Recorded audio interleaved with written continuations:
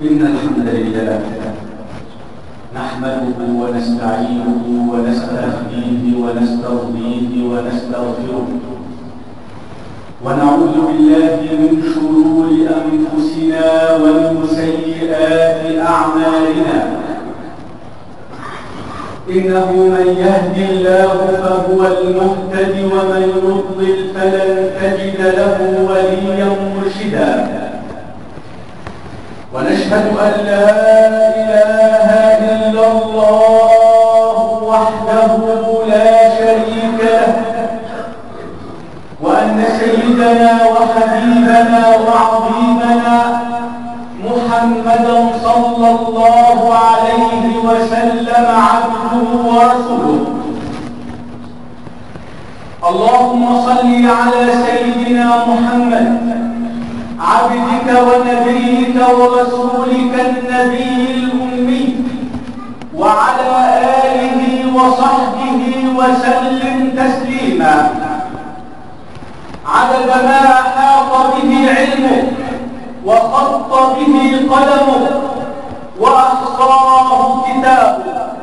وارض اللهم عن ساداتنا أبي بكر وعمر وعثمان وعلي. أجمعين وعن التابعين وتابعيهم بإحسان إلى يوم الدين. اللهم إنا نعوذ بك من أن نشرك بك شيئا نعلمه ونستغفرك لما لا نعلمه. اللهم إنا نعوذ بك من أن نقول زورا أو أن نغشى فجورا أو أن نكون بك ربي من المغرورين. أما بعد أيها الآباء الكرام والإخوة الأحباب تحدثنا في الجمعتين الماضيتين عن الأخلاق الإسلامية في زمن الفتن. ونتحدث اليوم بمشيئة الله وحوله وقوته عن أو تحت عنوان كل شيء في ملكوت الله بيد الله. كل شيء في ملكوت الله بيد الله. لن يحدث شيء في هذا الكون كله صبر أو كبر إلا بعلم الله وبحوله وقوته. فلا يشتق تفكيرنا بعيدا عن هذا المعنى. مهما وصلنا من قوة ومهما رأينا من أشياء في يدنا أو في يد غيرنا فإنه لن يكون في كون الله إلا ما أراد من؟ إلا ما أراد نجزم بذلك جزما قاطعا. ونؤمن بذلك إيمانا يقينيا. ولذلك رب العالمين يحدثنا عن هذا مهما وصلنا وعظمة وقوة وقدرة. فنحن نتعلم والدنيا كلها لا تساوي عند الله جناح بعوضة إلا ما كان فيها من ذكر الله وما والاه وعالم ومتعلم كما قال النبي صلى الله عليه وسلم في الحديث الصحيح الدنيا ملعونة ملعون من فيها إلا ذكر الله وما والاه وعالم ومتعلم. رب العالمين يقول حتى إذا أخذت الأرض زخرفها وازدينت وظن أهلها أنهم قادرون عليها أهل الأرض يظنون أنهم يقدرون عليها وعلى كل ما فيها يظنون ظنا وهميا أنهم قد أصبح بيدهم مقاليد الأمور لا مقاليد الأمور بيد من؟ بيد الله سبحانه وتعالى حتى إذا أخذت الأرض زخرفها وازينت وظن أهلها أنهم قادرون عليها أتاها أمرنا ليلا أو نهارا فجعلناها حصيدا كأن لم تغن بالأمس. كأن لم تغن بالأمس. أنهم قالوا هذا نعم لقد قاله الله عز وجل.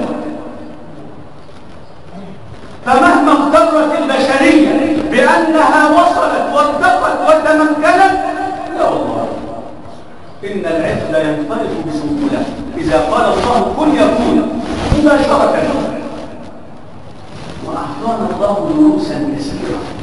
رأيناها بأعيننا ولكن العبرة لمن يعتبر. العبرة لمن يعتبر. علماء التاريخ يقولون الذي يفرق الإنسان عن الحيوان التجربة. إن الإنسان يستفيد من تجاربه ويتعلم مما يمر به. أما الحيوان لا يتعلم من تجاربه هو له فطرة غريزية ينساق وراءها وانتهى زي العصفور كده؟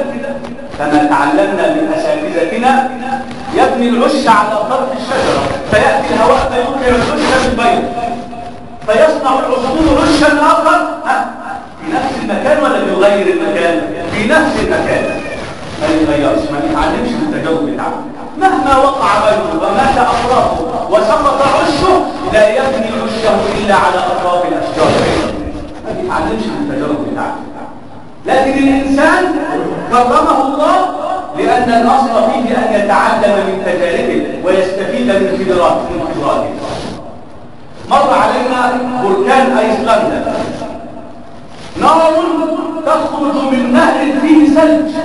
نهر مجمد بالثلوج تخرج منه نار ودخان يعطل الملاحة ثلاثة أشهر كاملة في أوروبا. الملاحة الجوية الطيران وخسائر لا تقدر. وتتعطل مصالح وتخسر حكومات وهيئات وشركات. كل ذلك بشكل طبيعي بسيط أراد له فهل تعلمت البشرية التي وصلت وتمكنت وظنت أنها قادرة على الجو وقادرة على الأرض وتستطيع التحكم في النقد المادي في الدنيا كلها؟ بمكان بسيط تذكرها بأن من موجود بأن الله سبحانه وتعالى أوجد الوجود وبأنه سبحانه وتعالى على كل شيء قدير يظن الناس أنهم في مؤسساتهم الدنيوية تمكنت الحكومات.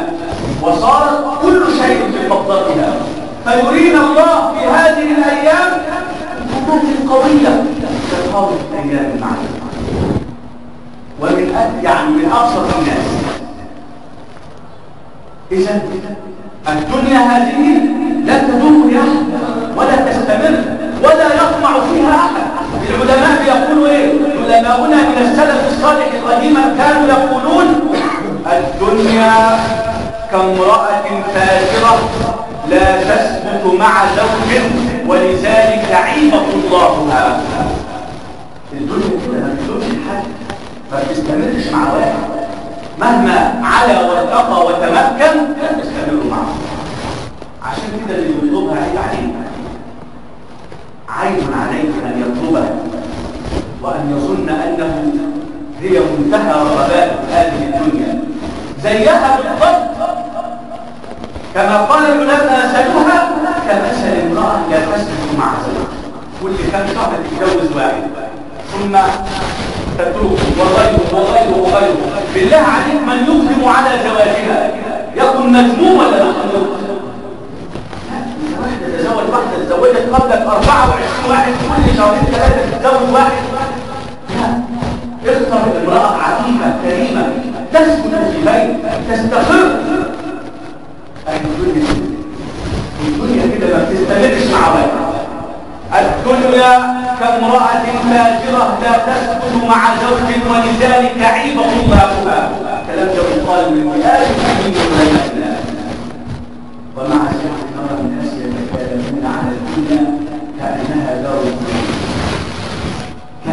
المستقر الذي لا يتحول. يتكالبون علينا تكالبا رهيبا. هذه الدنيا التي لا تساوي شيء. نعم. يتكالب الناس عليها. رب العالمين يعطينا العبر والعظام. لا يرتعشون أولى الناس بالابتعاض هم المسلمون. ومع ذلك لا يرتعشون يعني يعني يقبل علينا رجب شهر رجب هذا من الأشهر الحرم. الأشهر الحرم التي ينتهي فيها القتال باهل الله عز وجل حرم الله فيها القتال. إلا إذا هاجم علينا عدو من غيرنا وجب علينا أن نصد عن انفسنا العدوان. لكن ده انت بتشوف شيء غريب ان المسلم اخوه مسلم في الأشهر الحرم.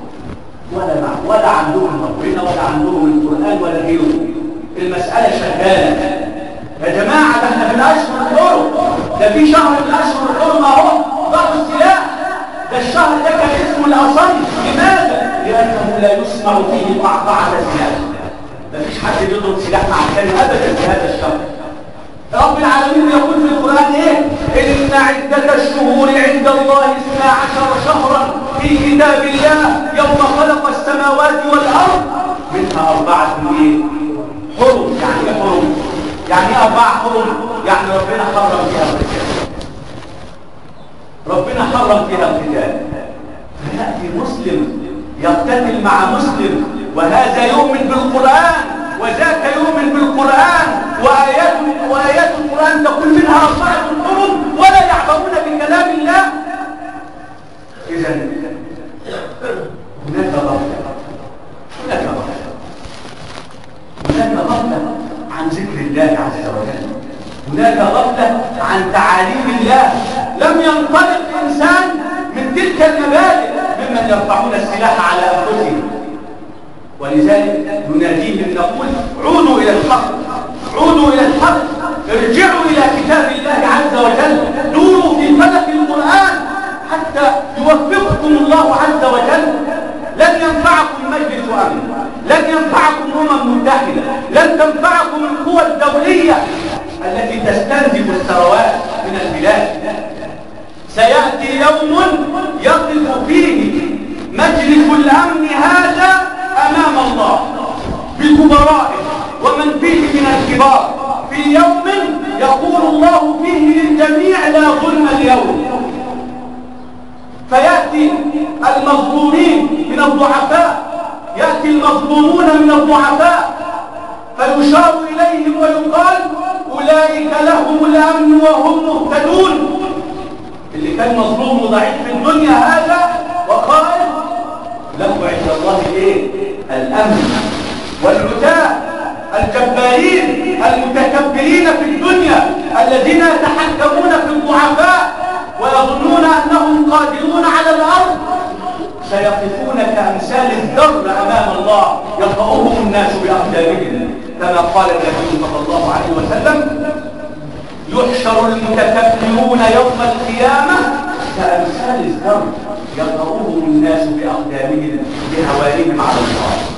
عارف اللي كان له شرطة في الدنيا ده وبيتجبر بها ويظلم هيكون زي الناموس والبعوض. ضئيل هو بصورة الإنسان لكن ربنا هيجعله صغير جدا مثل الناموسة البعوضة على الأرض. الناس ما تاخدش بالها منه ويدوس. ليه؟ لأنه كان متكبر. يحشر المتكبرون. يحشر المتكبرون. يوم القيامة كأمثال الذر يقبضهم الناس بأقدامهم لهوانهم على الله الأمم المتحدة التي اتحدت لضرب كل شيء ضد مصالحها ليتها اتحدت لرفع الظلم عن المظلومين لا هي تتحد لتحقق مصالحها ولتضرب كل شيء يمثل خطورة على مصالحها. سيفرقها الله عز وجل. سيفرقها الله عز وجل. في يوم يقال فيه الأخلاء يومئذ بعضهم لبعض عدو إلا المتقين. الأخلاء هيكونوا أعداء لبعض. إلا أهل التقى والصلاح هم اللي هيكونوا مستمرين مع بعض. المسلم أخو المسلم. المؤمن أخو المؤمن. الصالح أخو الصالح. أما المفسد فإنه عدو للمفسد مهما كانوا أصدقاء في الدنيا مهما تعاونوا في الدنيا مهما وضعوا أيديهم في أيدي بعضهم في الدنيا فالرسول يقول جمعتهم في الدنيا المصالح وتفرقهم الحقيقة في الآخرة الحقيقة التي غفلوا عنها حينما يرونها يتفرقون. كل منهم لا يهمه إلا نفسه إذا كل شيء في ملكوت الله بيد من؟ بيد الله سبحانه وتعالى. كل شيء في ملكوت الله بيد الله. ده الإنسان أصبح عنده قدرة قدرة حضارية وقدرة مادية. استطاع أن يخترق استطاع أن يخترق غلاف الكرة الأرضية ويخرج عنه إلى القمر وإلى غيره من الكواكب. استطاع أن يطير في جو السماء كالطيور استطاع أن يحفر أنفاقا تحت الأرض عجيبة استطاع أن يصنع غواصات تغوص في أعماق البحار. ترينا كل شيء وتبحث لنا عن كل شيء. تبحث لنا عن كل شيء في قاع البحار. نعم. إذا الإنسان أصبحت له قدرة وقوة. نعم. الذي صار قويا وصار يتحكم في كل شيء بالأضرار بغلطة واحدة. وزنه عند الله ضريب إلا إذا كان صالحا ليرضي الله. رب العالمين يقول إيه؟ أولم يرى الإنسان الإنسان ده مشاكل نفسه أولم يرى الإنسان أنا خلقناه من نطفة فإذا هو خصيم. خصومته بينة. ويجادل بالحق وبالباطل وقوي وعنيد نحن خلقناه من نطفة. لم يكن قبل ذلك شيئا إيه؟ ها؟ مذكورا هل أتى على الإنسان حين من الدهر؟ لم يكن إيه؟ لم يكن شيئا مذكورا. ما كانش شيء على الاطلاق مين اللي عمل؟ مين اللي عمل يا جماعة؟ الله. أولم يرى الانسان انا خلقناه من نطفة فإذا هو خصيم مبين وضرب لنا مثلا ونسي خلقه. قال من يحيي العظام وهي رميم. يمسك الراجل كان بيمسك العظام للرسول كده ويقول مين اللي هيحيي دي بعد ان صارت صارت رميم؟ فيقول له النبي الله يحييك ويعيدك ويدخلك جهنم. وضرب لنا مثلا خلقه قال من يحيي العظام وهي رميم قل قل لهم يا محمد قل يحييها الذي أنشأها أول مرة. اللي خلقها أول مرة هو اللي هيخلقها المرة دي واللي يخلقها المرة دي. أنهي الاصعب يا جماعة الخلق أول مرة ولا التقليد ثاني مره انت لما تعمل حاجة مره على غير سابق مثال ده اسمه ابداع عشان كده الله بديع السماوات والأرض. يعني خلقهن على غير مثال سابق الصعوبة بمقاييسنا البشرية انك لو عملت شيء مرة سهل إنك تعمله مرة ثانية لكن أول مرة على غير مثال سابق هي اللي صعبة. عشان كده رب العالمين بيقول إيه؟ بيقول لنا إن إحنا كما خلقنا الإنسان اول نستطيع اعادته للمرة إيه السنة بسهولة قل يحييها الذي أنشأها أول إيه؟ أول مرة وهو بكل خلق عليم. الذي جعل لكم من الشجر الأخضر نارا. الشجر الأخضر توقد منه نارا بعد ذلك. الذي جعل لكم من الشجر الأخضر نارا فإذا أنتم منه توقدون أوليس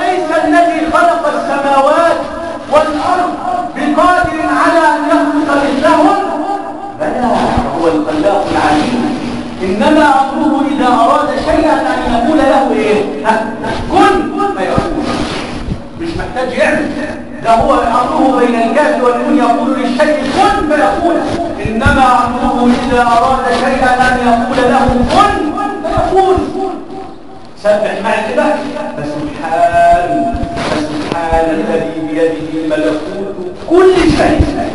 وإليه؟ ترجعون. بيذكرك بأنه الذي بيده ملكوت كل شيء. وانت هترجع انت هترجع وتقف للحساب بين يديك فاعلم أنه لن يكون شيء في كون الله إلا بيد الله. فسبحان الذي بيده ملكوت كل شيء واليه ترجعون لا تخف ما دمت في جنب الله لا تخف إذا تكالبت الدنيا على الإسلاميين إذا اجتمع أهل الأرض على الإسلام وأبنائه ليفسدوهم رب العالمين قادر على تنقلب الموازين. الغرب كان يظن أن بلادنا ستقع في حجره بسهولة. ولكنهم رأوا أن هناك من أبناء هذا الشعب أهل دين وأهل وطنية غمسوا بتراب هذا البلد. لن يوالوا أحدا إلا الله. لن يكونوا أولياء لأحد إلا الله. ولن يبيعوا تراب هذا البلد لأحد. ولذلك هم يعملون جاهدين يخططون ليل نهار لتقع مصر في حجرهم. فيستنفذون ثرواتها ويمتصون خيراتها. لكن نحن نؤمن بوجود الله ونعلم أنه لن يكون في كون الله إلا ما أراد من؟ إلا ما أراد الله. لذلك نتعشم خيرا في أن يجمع الله أهل هذا البلد. أهل هذا البلد. نجتمع حول مصحفنا وحول قرآننا. ولا نظلم. حتى وإن قدرنا على غيرنا لا نظلم. لأن هذا مبدأ قرآني أصيل لا يتغير. إذا علينا في هذه الأرض في هذه البلاد في هذه الأيام العبادة الكبرى في هذه الأيام هي كف الأذى كف الأذى أذى اليد وأذى اللسان ونبذ الخلاف والفرقة لأن أشد اللحظات التي نحتاج فيها إلى الاتحاد هي هذه الأوقات أهم العبادات في هذه الأوقات هو نبذ الفرقة والاختلاف. الصلاة تصب في نبذ الفرقة والاختلاف. كما نتوحد في صف الصلاة نتفق في الآراء نتعاون لا نختلف. النبي صلى الله عليه وسلم يقول في الحديث الذي جاء في مسند الإمام أحمد والطبراني بسند صحيح الجماعة رحمة والفرقة النبي الله عليه وسلم الجماعة رحمة والفرقة عذاب الجماعة يعني اجتماع المسلمين. يعني إن المسلمين كلهم يكونوا على قلب رجل إيه؟ واحد. إن أهل الإسلام أمة محمد صلى الله عليه وسلم يكونون على قلب رجل واحد. ساعتها يكون الخير يكون الصواب قد يقول قائل نحن نريد العمل لدين الله ولكننا نرى جماعات صباح مساء من هنا ومن هنا ومن هناك. كل جماعة تزعم أنها على الصواب وأن غيرها على الباطل.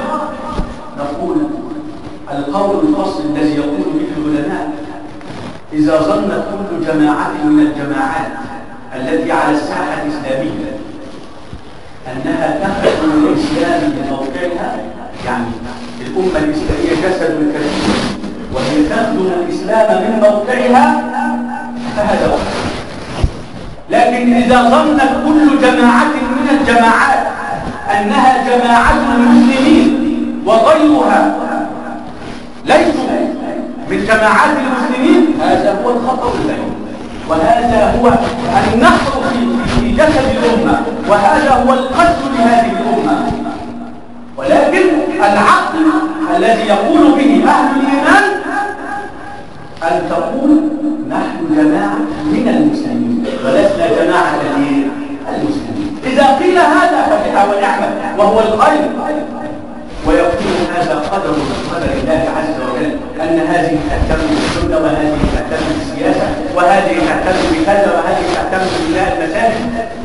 ويتفقون جميعا على أنهم خدام لجسد أمة محمد صلى الله عليه وسلم.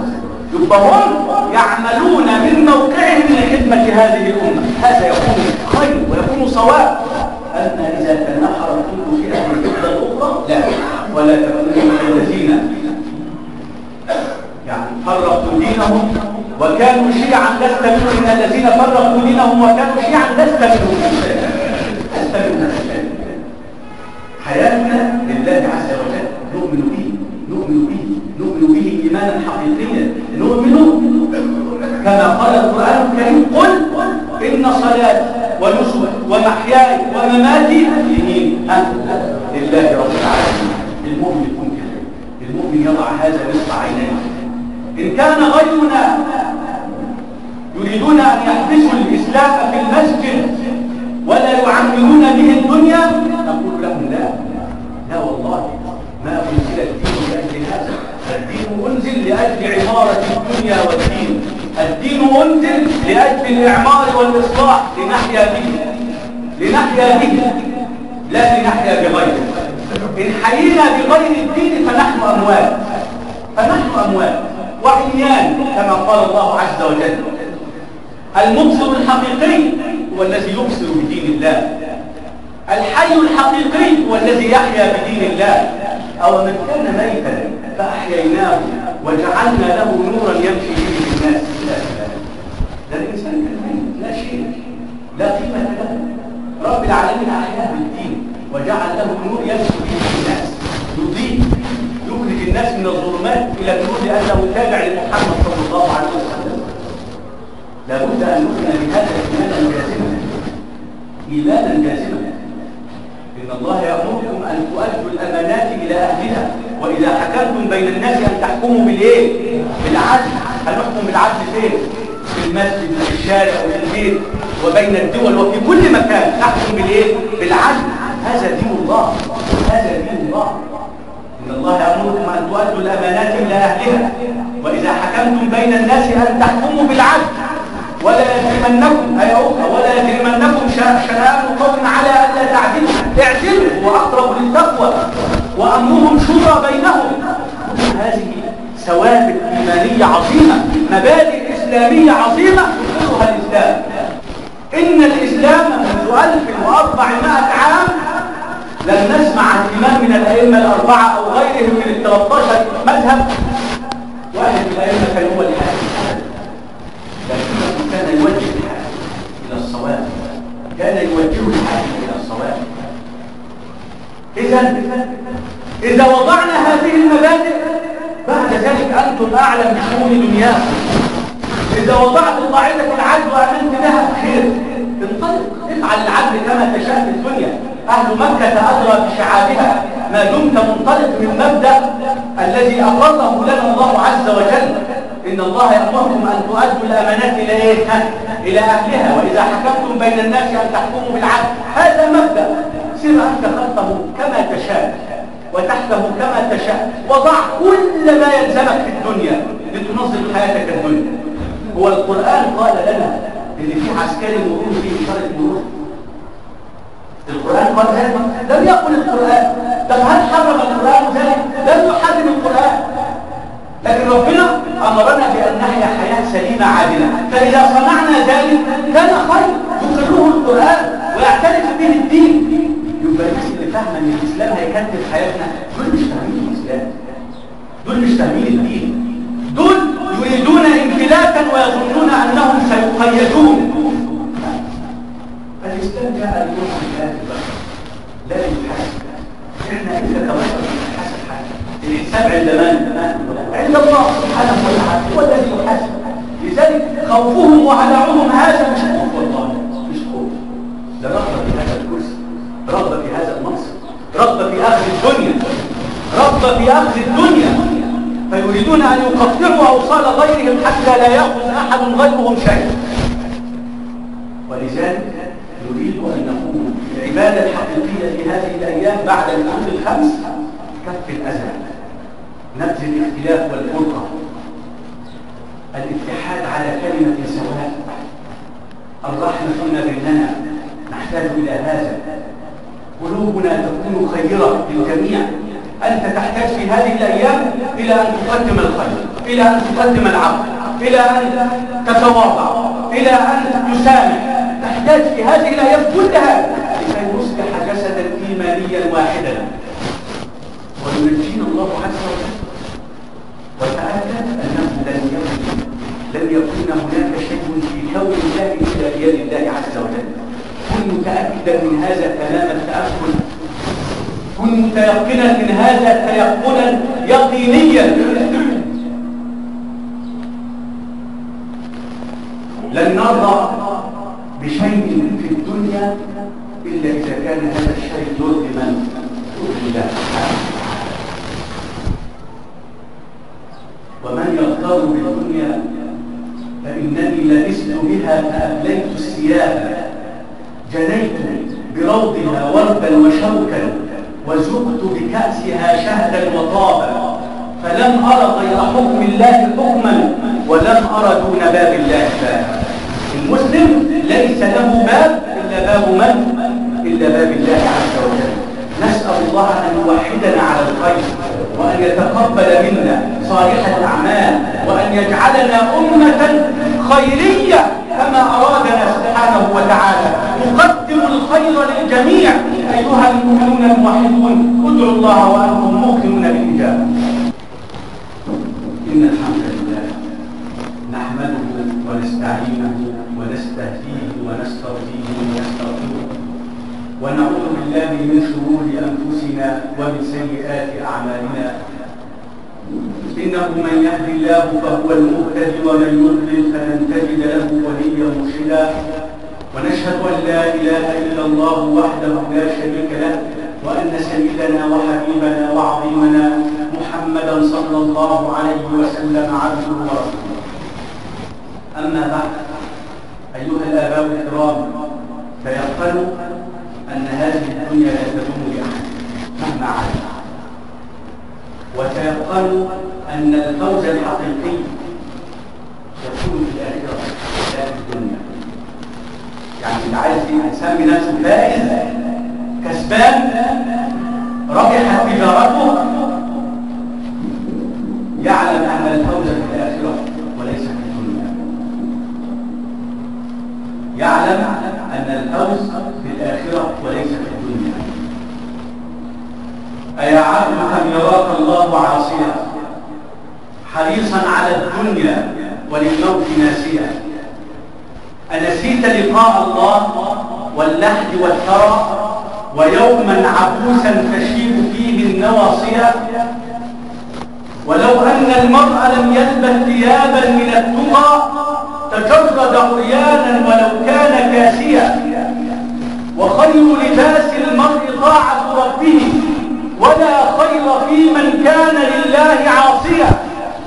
ولو كانت الدنيا ولو كانت الدنيا ولو كانت الدنيا تدوم لأهلها لكان رسول الله حيا ولا ولكنها تفنى ويفنى نعيمها.